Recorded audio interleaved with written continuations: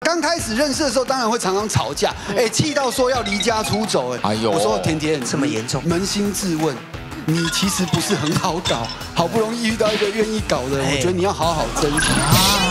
带你结婚，没有两天又离婚，是假的。宋先生一起清光金氏情人合照，朋友开枪又肥又胖又丑，take 小甜甜。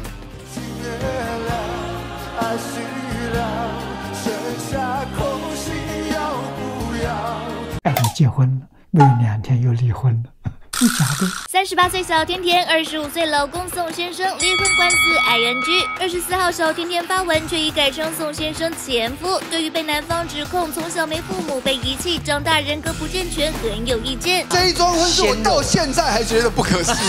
难怪小孩一出生就我难过的是。于是嘞宋先生干哥也发文声援，替我单纯到不行的弟弟感到无奈，称宋先生发言被断章取义。宋先生泪也在破文底下留言，看到前夫两个字，我觉得好像先解脱一半了。大部分的人还是会相信前妻的谎言，前妻为自己塑造的形象与人设。我绝对相信前妻的前任男友张先生，在好几年前向媒体诉说前妻所说过曾做过的事情，只因为我亲身经历。了，生生世世，太可怕了。啊然后宋先生的亲友团发出组合技，其中一位以留言回击，一个又肥又胖又丑，还满嘴谎言的女人，被其他网友问到有本事就指名道姓，笑你不敢。该好友还真的直接艾特小甜甜，就看他本人承不承认喽。那只能说呢，这个宋先生也是很勇敢。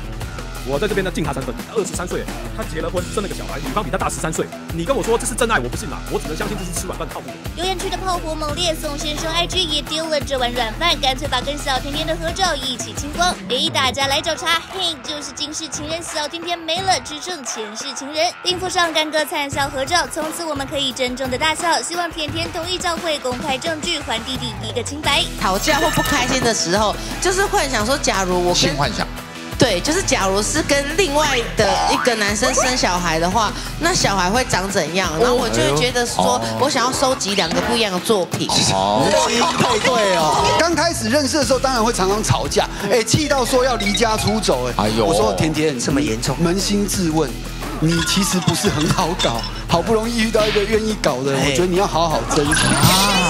他离家出走，说什么他要让大家在家里热死，要把他那个电那个冷气的遥控器带出去。最最严重那一次啊，他是说哎他想要出家，哎呦，以前会在意吗？在意吗？不会不会不会，如果说哦不会，这样是不会啊。如果啊不会不会不会不会，这就是会。没有啦。只有佛菩萨有世间里假的。